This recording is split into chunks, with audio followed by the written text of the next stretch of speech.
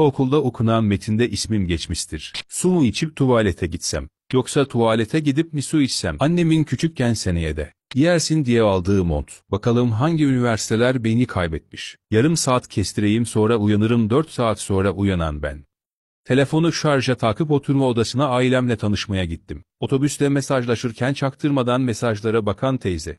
Görüntülü konuşurken karşımdaki kişinin hiçbir dediğini dinlemeyip kendi görüntüme bakarken ben, kardeşim evde böyle geziyor Allah Kanal 7'nin belasını versin. Annemin yanında nadıl yerken annem,